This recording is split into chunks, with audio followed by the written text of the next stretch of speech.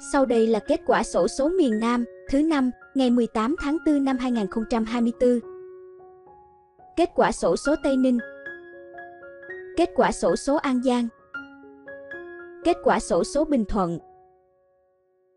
Ngoài ra còn có 9 giải phụ đặc biệt dành cho các vé trúng 5 chữ số sau cùng theo thứ tự hàng của giải đặc biệt 6 chữ số, mỗi giải trị giá 50 triệu đồng.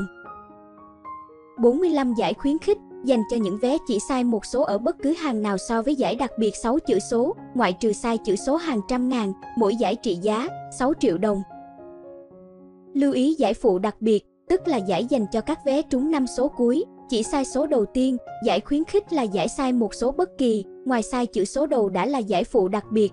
Nói một cách khác, giải khuyến khích là giải trúng con số đầu tiên và sai một trong năm con số còn lại của giải đặc biệt 6 chữ số. Ngoài ra, các vé trùng nhiều giải được lĩnh đủ giá trị các giải. Kênh sổ số 3 miền, kết quả sổ số hôm nay, xin chân thành cảm ơn quý vị và các bạn đã theo dõi kết quả sổ số ngày hôm nay. Nếu thấy thông tin đáng chú ý, hãy bấm nút đăng ký và ấn phím chuông để nhận được thông báo cập nhật kết quả sổ số mới nhất. Và đừng quên bấm nút thích bên dưới để ủng hộ kênh phát triển hơn. Chúc mọi người sẽ được thần tài gõ cửa trong một ngày gần nhất. Mến chào và hẹn gặp lại!